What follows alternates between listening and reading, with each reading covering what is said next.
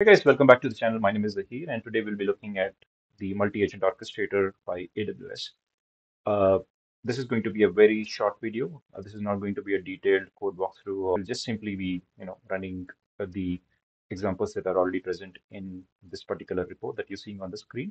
Um, as you can see from the screen, this looks very intuitive, very easy for uh, the the developers to consume information. Uh, this has three key components here. One is the classifier, uh, essentially an intent classifier, which classifies intent and selects the relevant agent. The other one obviously is an agent uh, that you know processes the request using an LLM.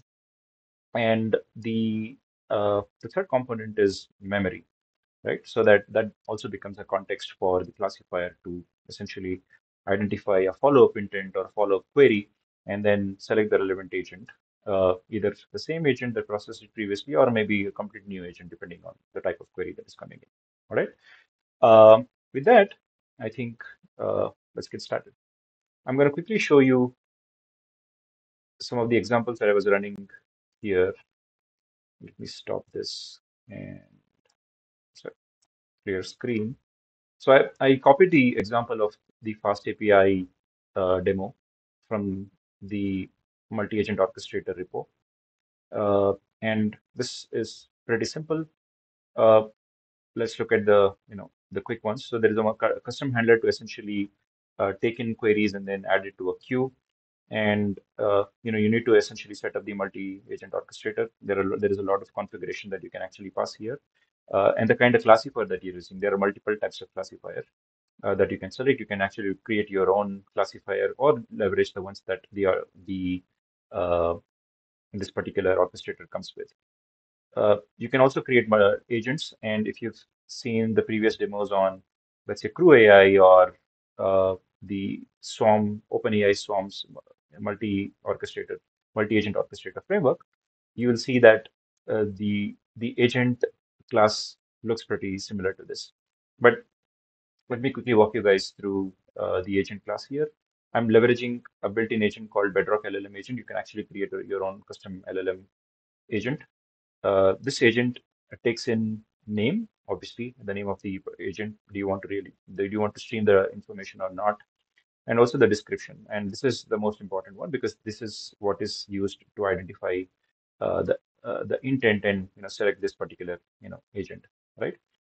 Similarly, you know uh, I created a completely different agent called football agent just to you know ask a few football queries, and then there is a health agent. Let's see how this particular agent can handle the request. Now, before I do that, uh, let me tell you the most important part of this particular demo. Uh, to run the Bedrock LLM agent, you obviously need to have access to the uh, Anthropic LLMs that are running on AWS. Uh, to do that, you need to essentially create a free, free tier account on AWS and uh, go to the Bedrock services and click on Bedrock configurations, model access, and get yourself access to these three uh, models essentially Claude 3.5 Haiku or Claude 3.5 Sonnet, and in fact, Claude 3 Sonnet and Claude 3 Haiku as well. Uh, by doing this, this is free. Uh, this shouldn't cost you anything, and you should be able to run this on free, free tier. Obviously, there is a rate limit uh, you will not be able to make several calls uh, in a minute, but for you to just you know try this particular agentic framework, this should be good enough. All right.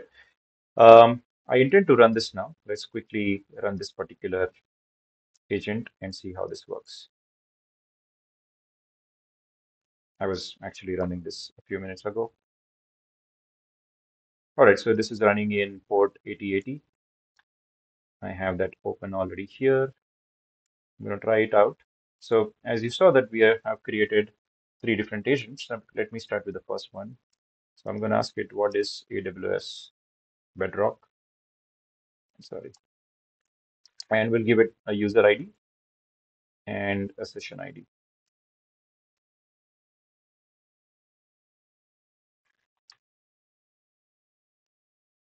And let's see. Uh, user ID and session ID is key for you know the uh, the conversation history because you know you might want to retain the conversation history for this particular user and for this particular session and then uh, identify intent based on the conversation uh, that you've had previously using the same user ID and session. Key to a lot of uh, uh, chat-like interfaces, right? All right. Uh, like I said, you need to set up an AWS account.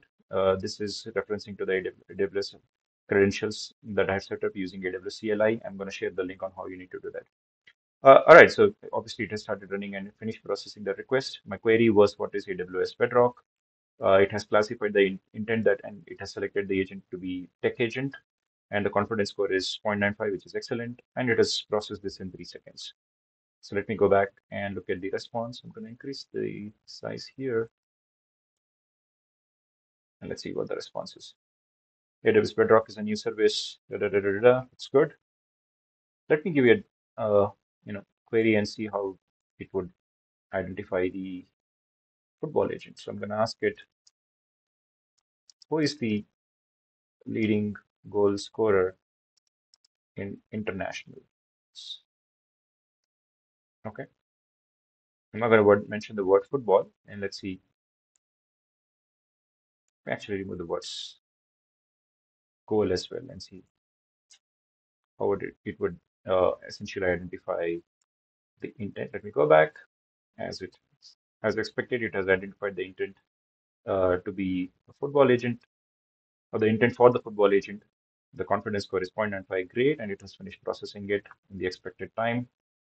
And and awesome. The Cristiano, obviously, Ronaldo, Cristiano Ronaldo is the leading goal scorer in uh, international soccer, and the information seems correct. I don't know if the goal goal count is uh, good. I can't validate that now, but Cristiano Ronaldo is definitely the leading goal scorer.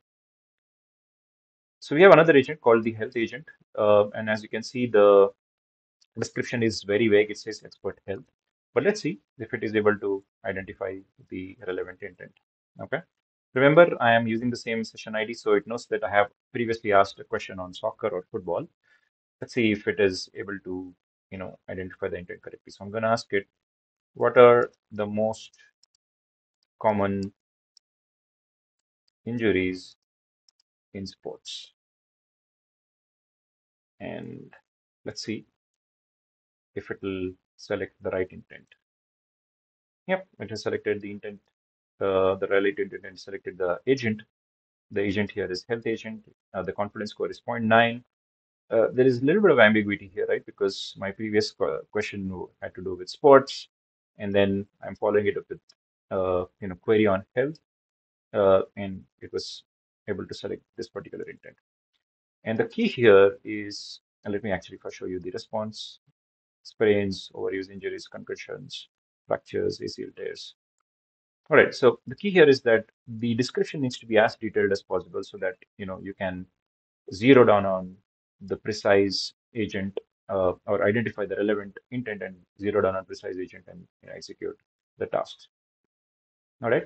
Uh, you can uh, let me show you the weather agent. I'm not going to run this. Uh, as you can imagine, every agent agentic framework today has the most important uh, component tools, and this one also has comes with tools. From tools, you can actually specify the kind of tool that you want to add here. So let me show you the tool that we've added. We've created a weather tool. Uh, there is specific format that you want to leverage here. It takes in name, description, the input schema so that it can identify the object. Uh, one thing that I have to tell you that the tool detail is, you know, uh, relatively complex to set up here, at least from the example that I'm seeing versus let's say a Crew AI. Uh, because in Crew AI, you just, you know, give it a doc string and then add a decorator add tool and it still does a very good job of identifying the tool, right? Uh, but here, I think you need to create the schema of the input and maybe the output as well. I'm not sure if this, yeah, but you need to create the schema of input. The advantages here is that you'll have very precise input that will be generated by the uh, LLM, but the downside is that you'll have to, you know, do this detailed uh, configuration. But you know, if you're in an enterprise setup and you want precision, uh, this is a good time. Uh, this investment in time uh, to write this input schema is going to be that much more beneficial in the long run. All right, guys, let's quickly look at the documentation as well. Uh, so, like I, you know called out earlier, it has key components. The other components being the classifier uh, and agents, and the uh, another component being uh, you know the conversation storage. Um, and you can actually create custom classifiers using uh, you know your own the LLM that you have access to. That could be from Azure or uh, you know Anthropic or OpenAI. You can also create your own agents. There are a lot of pre-built uh, agents that come in as part of the package, but you can obviously create your own custom agent. And the storage op opportunities are also great. You can use in-memory as well as Dynamo, DynamoDB or you know set up your own custom storage. All right, guys, that's it from uh, me on this one. I thought this is a very clean, very uh, you know intuitive flow of uh, you know data uh, for a developer to understand and build agentic frameworks. Still not as simple as let's say uh, OpenAI Swarm, but I think uh, you know when you want to set up enterprise grade you know agents, I think this should be an agent agentic framework that you can fall back on. Uh, also, OpenAI Swarm is still not officially in production. That that's still an exper- it's still in experiment stage, but uh, AWS has shared this as something that you could leverage in production. All right, guys, that's it from me in today's video. If you like this video, please uh, you know su subscribe to the channel and share it with your network. Appreciate your time here. Thank you.